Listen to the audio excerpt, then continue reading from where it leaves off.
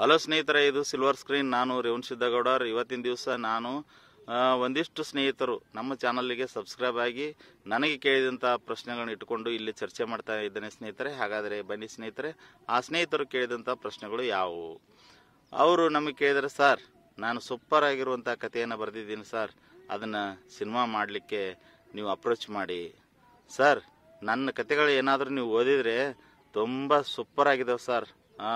ಈಗಾಗಲೇ ಕನ್ನಡದಲ್ಲಿ ಇರ್ತಕ್ಕಂಥ ಏನು ಸೂಪರ್ ಹೀರೋಗಳಿದ್ದಾರಲ್ಲ ಸರ್ ಅವರಿಗಾಗಿಯೇ ನಾನು ಮಾಡಿದ್ದೇನೆ. ಅವರೇನಾದರೂ ಈ ಸಿನಿಮಾದಲ್ಲಿ ಆ್ಯಕ್ಟ್ ಮಾಡಿದರೆ ನಾವು ಸೂಪರ್ ಆಗುತ್ತೆ ಸರ್ ಹಿಟ್ ಆಗುತ್ತೆ ಸರ್ ಅಂಥೇಳಿ ಇದೇ ವೇದಲ್ಲಿ ಒಂದು ಮೂರ್ನಾಲ್ಕು ಜನ ಈ ಪ್ರಶ್ನೆಯನ್ನು ಕೇಳಿದ್ದಕ್ಕಾಗಿ ನಾನು ಸಾಮಾನ್ಯವಾಗಿ ಇದು ಎಲ್ಲರಿಗೆ ಅನ್ವಯಿಸುತ್ತೆ ಅನ್ನುವಂಥ ಒಂದು ಅಭಿಪ್ರಾಯವನ್ನು ಇಟ್ಕೊಂಡು ಈ ವಿಡಿಯೋ ಮಾಡ್ತಾ ಇದ್ದೇನೆ ಸ್ನೇಹಿತರೆ. ಹಾಗಾದರೆ ಬನ್ನಿ ಸ್ನೇಹಿತರೆ, ಇದುವರೆಗೆ ನಮ್ಮ ಚಾನಲ್ಗೆ ಸಬ್ಸ್ಕ್ರೈಬ್ ಆಗಿದ್ದಿಲ್ಲ ಅಂದರೆ ಸಬ್ಸ್ಕ್ರೈಬ್ ಆಗಿ, ನಾವು ಹಾಕುವ ಎಲ್ಲ ವಿಡಿಯೋಗಳು ನಿಮಗೂ ಬಂದು ತಲುಪ್ತವೆ. ಲೈಕ್ ಮಾಡಿ ಶೇರ್ ಮಾಡಿ ಕಮೆಂಟ್ ಮಾಡಿ ಸ್ನೇಹಿತರೆ. ಹಾಗೆ ನಮ್ಮ ಚಾನಲ್ಗೆ ಸಪೋರ್ಟ್ ಮಾಡಿ ಸ್ನೇಹಿತರೆ. ಹಾಗಾದರೆ ಸ್ನೇಹಿತರು ಕೇಳಿದಂಥ ಪ್ರಶ್ನೆಯನ್ನು ಇಟ್ಕೊಂಡು ನಾವು ಮುಂದುವರಿಯೋಣ ಬನ್ನಿ ಸ್ನೇಹಿತರೆ. ಸ್ನೇಹಿತರು ಕೇಳಿದಂಥ ಪ್ರಶ್ನೆಗಳು ಅವರು, ನಾನು ವಾಪಸ್ ಕೇಳಿದೆ. ನೀವೇನಾದರೂ ಈಗಾಗಲೇ ಶಾರ್ಟ್ ಫಿಲ್ಮ್ ಮಾಡಿದಿರಾ ಅಥವಾ ಯಾವುದಾದ್ರೂ ಸಿನಿಮಾಕ್ಕೆ ಕಥೆಯನ್ನು ಬರೆದಿದ್ದೀರಾ? ಮತ್ತು ನಿಮ್ಮ ಅನುಭವ ಏನು, ನಿಮ್ಮ ಎಕ್ಸ್ಪೀರಿಯನ್ಸ್ ಏನು? ಈ ರೀತಿಯಾಗಿ ನಾವು ಅವರಿಗೆ ಮರಳಿ ಪ್ರಶ್ನೆಯನ್ನು ಕೇಳಿದೆ. ಸರ್ ನಮ್ಗೆ ಯಾವುದೇ ರೀತಿಯಾದಂಥ ಎಕ್ಸ್ಪೀರಿಯನ್ಸ್ ಇಲ್ಲ. ಸಿನಿಮಾ ಮಾತ್ರ ನೋಡ್ತಾ ಇದ್ದೇವೆ. ಅದೇ ಒಂದು ಸ್ಫೂರ್ತಿಯಿಂದ ನಾವು ಕಥೆಯನ್ನು ಬರೆದಿದ್ದೇನೆ. ಮತ್ತು ಸೂಪರ್ ಆಗುತ್ತೆ ಸರ್ ನೀವು ಓದಿ ಸರ್ ಒಂದ್ಸಲ ಓದಿ ಸೂಪರ್ ಇದೆ ನನ್ನ ಕತೆ ಅನ್ನುವಂಥ ಮಾತನ್ನು ಅವರೆಲ್ಲ ಸಾಮಾನ್ಯವಾಗಿ ನನಗೆ ಹೇಳಿದರು. ಒಂದು ಸಿನಿಮಾ ಮಾಡಬೇಕಾಗಿತ್ತಂತಂದರೆ ಅನುಭವ ಮುಖ್ಯ ಅಲ್ವಾ? ಗೆಲ್ಲಬೇಕಾಗಿತ್ತಂತಂದರೆ ಅನುಭವನೂ ಮುಖ್ಯ.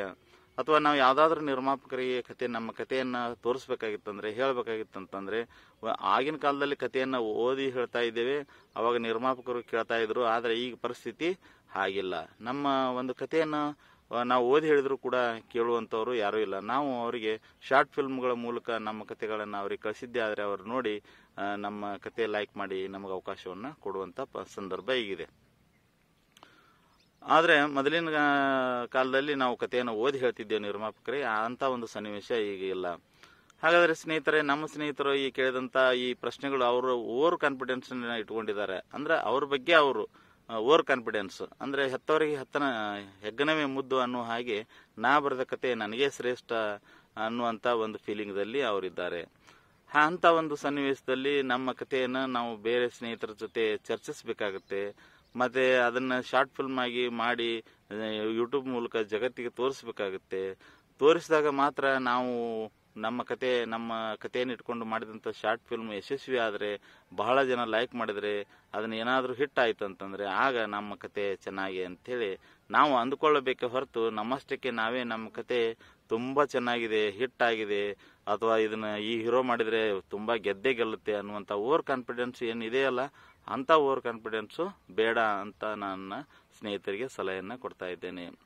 ಅವರು ಕೂಡ ನನಗೆ ಅಪ್ರೋಚ್ ಮಾಡಿದ್ರು ಸ್ನೇಹಿತರೆ, ನಾನು ನಾನು ಕೂಡ ನಿಮ್ಮ ಹಾಗೆ ಒಬ್ಬ ವ್ಯಕ್ತಿ ನಾನು ನನಗೆ ಗೊತ್ತಿರುವಂಥ ಒಂದು ಮಾಹಿತಿಯನ್ನು ಜ್ಞಾನವನ್ನು ಎಲ್ಲರಿಗೆ ಹಂಚಿಕೆ ಆಗಲಿ ಸಿನಿಮಾ ಮಾಡುವಂಥವರಿಗೆ ಅಥವಾ ಶಾರ್ಟ್ ಫಿಲ್ಮ್ ಮಾಡುವಂಥವರಿಗೆ ಆ, ಸಿನಿಮಾ ಕ್ಷೇತ್ರದಲ್ಲಿ ಸಾಧನೆ ಮಾಡಬೇಕಂತ ಬಂದವರಿಗೆ ಏನೂ ಗೊತ್ತಿಲ್ಲದಂತವರಿಗೆ ದುಡ್ಡು ಇಲ್ಲಾರ್ದವರಿಗೆ ನಾನು ವಿಡಿಯೋವನ್ನು ನೋಡಿ ಅವ್ರಿಗೆ ಹೆಲ್ಪ್ ಆಗಲಿ ಅನ್ನುವಂಥ ಉದ್ದೇಶದಿಂದ ನಾನು ವಿಡಿಯೋ ಮಾಡ್ತಾ ಇದ್ದೇನೆ. ಅವರು ನನ್ನ ವಿಡಿಯೋವನ್ನು ನೋಡಿದಂಥವ್ರು ಇವ್ರಿಗೆ ಏನಾದರೂ ನಿರ್ಮಾಪಕ ಗೊತ್ತಿರಬಹುದು ಇವರಿಗೆ ನಾವು ಅಪ್ರೋಚ್ ಮಾಡಿದರೆ ಇವರು ಸಿನಿಮಾ ನಮ್ಮ ಕಥೆಯನ್ನು ಸಿನಿಮಾ ಮಾಡಿಸ್ಬೋದು ಅನ್ನುವಂಥ ಒಂದು ಅವ್ರ ಉದ್ದೇಶವನ್ನು ಇಟ್ಕೊಂಡು ನನಗೆ ಅಪ್ರೋಚ್ ಮಾಡಿದರೆ ಅದರ ತಪ್ಪೇನಿಲ್ಲ. ಸ್ನೇಹಿತರೆ ಆದರೂ ಕೂಡ ನಾನು ನಿಮ್ಮ ಹಾಗೆ ನಾನು ನಿಮ್ಮ ಒಂದು ವೇದಲ್ಲೇ ಇದ್ದೇನೆ. ಆದರೆ ಓವರ್ ಕಾನ್ಫಿಡೆನ್ಸ್ ಬೇಡ ಅನ್ನುವಂಥ ಮಾತನ್ನು ಹೇಳ್ತಾ ಸ್ನೇಹಿತರೆ.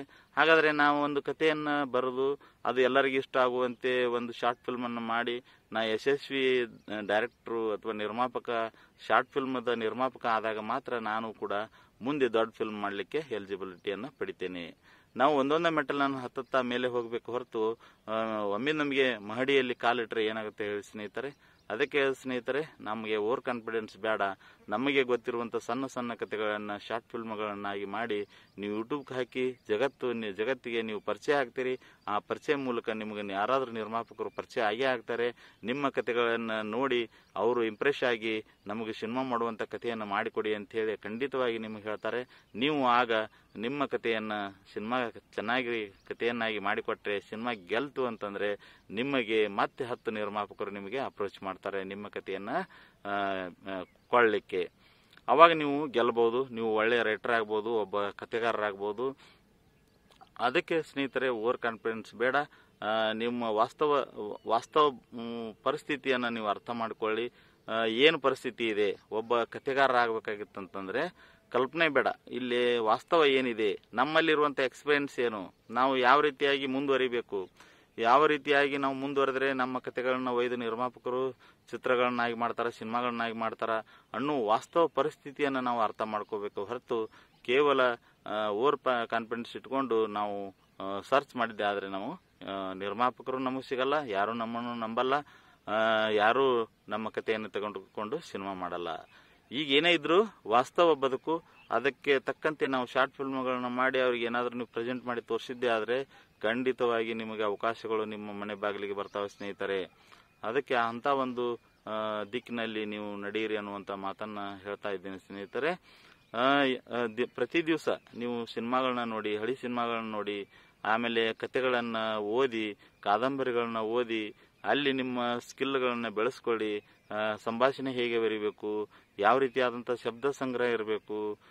ಸನ್ನಿವೇಶಗಳನ್ನ ಯಾವ ರೀತಿಯಾಗಿ ಕಟ್ಟಿ ಕೊಡಬೇಕು ಎಡಿಟಿಂಗ್ ಯಾವ ರೀತಿಯಾಗಿ ಎಡಿಟಿಂಗದ ಸಾಧ್ಯ ಸಾಧ್ಯತೆಗಳ ಬಗ್ಗೆ ನಿಮ್ಗೆ ಗೊತ್ತಿರಬೇಕು. ಆಮೇಲೆ ಕ್ಯಾಮ್ರಾದ ಬಗ್ಗೆ ಸಾಧ್ಯ ಸಾಧ್ಯತೆಗಳ ಬಗ್ಗೆ ಗೊತ್ತಿರಬೇಕು. ಅದಕ್ಕೆ ತಕ್ಕಂತೆ ನಾವು ಕತೆಗಳನ್ನ ಬರೆದಿದ್ದೆ. ಆದರೆ ನಾವು ಯಶಸ್ವಿಯಾದಂಥ ಒಬ್ಬ ಕತೆಗಾರರಾಗ್ತೀವಿ ನಮ್ಮ ಕತೆಗಳು ಸಿನಿಮಾ ಖಂಡಿತ ಆಗಿ ಆಗೇ ಆಗ್ತವೆ ಅನ್ನುವಂಥ ಮಾತನ್ನ ನಾ ಇಲ್ಲಿ ಹೇಳ್ತೀನಿ ಸ್ನೇಹಿತರೆ.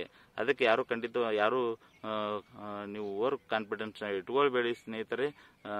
ವಾಸ್ತವ ಬದುಕಿನ ಬಗ್ಗೆ ನೀವು ಅಧ್ಯಯನ ತಿಳಿದುಕೊಳ್ಳಿ. ಜೀವನ ಅಂದ್ರೆ ಏನು? ಸಿನಿಮಾ ಅಂದ್ರೆ ಏನು? ಸಿನಿಮಾಕ್ಕೆ ನಮ್ಮ ಕಥೆಗಳನ್ನ ಯಾವ ರೀತಿಯಾಗಿ ಅವ್ರಿಗೆ ಕೊಡಬೇಕು? ನಿರ್ಮಾಪಕರು ನಮ್ಮನ್ನ ಯಾವ ರೀತಿಯಾಗಿ ನಂಬಬೇಕು? ನಮ್ಮ ಕತೆಗಳನ್ನ ಅವರು ಯಾವ ಯಾವ ರೀತಿಯಾಗಿ ನಾವು ಬರೆದಾಗ ಅವರು ಅದನ್ನು ತೆಗೆದುಕೊಂಡು ಸಿನಿಮಾ ಮಾಡ್ತಾರೆ ಅನ್ನುವಂಥ ಒಂದು ನಿಜ ಬದುಕನ್ನು ನಾವು ತಿಳ್ಕೋಬೇಕು. ತಿಳ್ಕೊಂಡು ಮುಂದುವರಿಬೇಕು. ಕೇವಲ ಸಿಕ್ಕ ಸಿಕ್ಕವರಿಗೆ ನಾವು ಅಪ್ರೋಚ್ ಮಾಡಿದರೆ ನಿರಾಶೆ ಆಗುತ್ತೆ. ಯಾಕಂತಂದ್ರೆ ಎಲ್ಲರೂ ಸಾಮಾನ್ಯವಾಗಿ ಸಾಮಾನ್ಯರಾಗೇ ಇರ್ತಾರೆ. ನನಗೆ ಅಪ್ರೋಚ್ ಮಾಡಿದರೆ ನಾ ಏನು ಮಾಡೋಕ್ಕೆ ಸಾಧ್ಯ ಇದೆ ಹೇಳಿ ಸ್ನೇಹಿತರೆ, ನಾನು ನಿಮ್ಮ ಹಾಗೆ ಒಬ್ಬ ಸಿನಿಮಾ ಆಸಕ್ತ, ನನಗೆ ಗೊತ್ತಿರುವಂಥ ವಿಷಯವನ್ನು ಯೂಟ್ಯೂಬ್ ಮೂಲಕ ಹೇಳ್ತಾ ಇದ್ದೇನೆ. ಇದನ್ನು ಕೇಳಿದಂಥ ಸಾಕಷ್ಟು ಜನ ತಮ್ಮ ಒಂದು ಸಿನಿಮಾ ಕೆರೆ ಕರಿಯರನ್ನು ಮುಂದುವರಿಸಿದ್ದಾರೆ. ನನಗೆ ಸಾಕಷ್ಟು ಜನ ಫೋನ್ ಮಾಡಿ, ಸರ್, ನೀವು ನೀವು ದ್ರೋಣಾಚಾರ್ಯರಾದರೆ ನಾವು ಏಕಲವ್ಯ. ನಾವು ದೂರಿಂದ ಕುಂತು ನಿಮ್ಮ ವಿಡಿಯೋಗಳನ್ನ ನೋಡಿ, ಸಿನಿಮಾಗಳನ್ನ ಯಾವ ರೀತಿಯಾಗಿ ಮಾಡಬೇಕು ಅಂತ ಹೇಳಿ ನಾವು ಕಲಿತಾ ಇದ್ದೇವೆ. ನಿಮಗೆ ತುಂಬ ಥ್ಯಾಂಕ್ಸ್ ಸರ್ ಅಂತ ಈ ರೀತಿಯಾಗಿ ನಾನು ಎಲ್ಲ ಕಮೆಂಟ್ ಮಾಡ್ತಾರೆ. ಅಂದರೆ ನನ್ನ ವಿಡಿಯೋಗಳು ಅವರಿಗೆ ಹೆಲ್ಪ್ಫುಲ್ ಆಗಿದ್ದಾವೆ ಅಂತ ಹೇಳಿ ನಾನು ಅನ್ಕೊಂಡಿದ್ದೀನಿ ಸ್ನೇಹಿತರೆ. ಅದಕ್ಕೆ ಕತೆ ಬರೆಯೋರು ಮತ್ತೆ ಸಿನಿಮಾ ಮಾಡ್ತೀನಿ, ಮಾಡಿಸ್ತೀನಿ, ಸಿನಿಮಾ ನಿರ್ಮಾಪಕರಿಗೆ ನನ್ನ ಕತೆಗಳನ್ನ ಕೊಡ್ತೀನಿ ಅಂತ ಬರೋರೆಲ್ಲ ಈ ದಿಕ್ಕಿನಲ್ಲಿ ಸ್ವಲ್ಪ ವಿಚಾರ ಮಾಡಿ. ಬಹಳ ಆಸೆಯನ್ನು ಇಟ್ಟುಕೊಂಡು ನೀವೇನಾದರೂ ನನಗೆ ಕಾಲ್ ಮಾಡಿದರೆ ನಿಮಗೆ ನಿರಾಶೆ ಆಯಿತು ಅಂತಂದರೆ ನಾನು ಹೊಣೆಗಾರನಲ್ಲ. ಅದಕ್ಕೆ ನೀವು ದಯಮಾಡಿ ನೀವು ವಾಸ್ತವ ಪರಿಸ್ಥಿತಿಯನ್ನು ಅರ್ಥ ಮಾಡ್ಕೊಳ್ಳಿ. ನೀವು ಸಿನಿಮಾಕ್ಕಾಗಿ ಕತೆ ಬರೆಯೋರು ಅತಿ ಅವಶ್ಯವಾಗಿ ತಿಳ್ಕೊಳ್ಳಿ.